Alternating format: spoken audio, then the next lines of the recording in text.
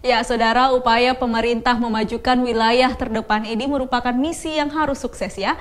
Dan sementara itu, saudara, Menteri Badan Usaha Milik Negara melakukan panen perdana garam di lahan seluas 300 hektar di Desa Bipolo, Kabupaten Kupang, Nusa Tenggara Timur.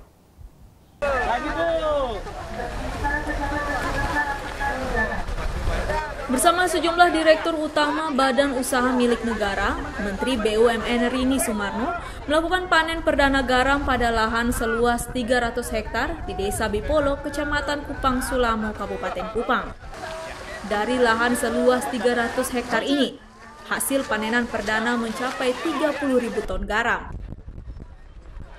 Selanjutnya, PT Garam Indonesia selaku BUMN yang mengelola tambak garam ini akan memproduksi secara kontinu untuk dikirim ke berbagai konsumen.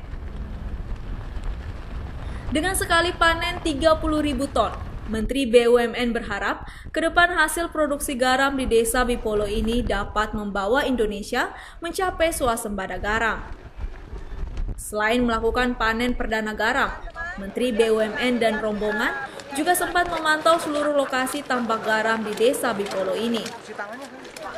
Pada kesempatan ini, sejumlah direktur BUMN menyerahkan bantuan kredit usaha rakyat melalui dana CSR bagi warga yang berdomisili di desa ini yang sehari-hari bekerja sebagai petani garam.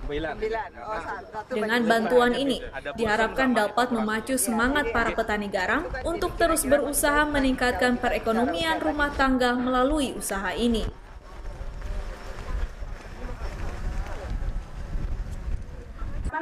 Edi Oli, Kompas TV, Kupang, Nusa Tenggara Timur. Pertanian garam.